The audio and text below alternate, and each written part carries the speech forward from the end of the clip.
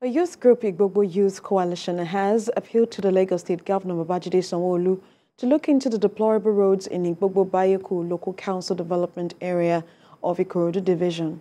The group made the appeal at the Palace of the Community's monarch, Semiuddin Kasali, where the group congratulated the governor on his re-election, highlighting the need for urgent attention on uncompleted road projects in Igbogbo. Members of the group also seek consideration in political appointments in the state for rapid community development.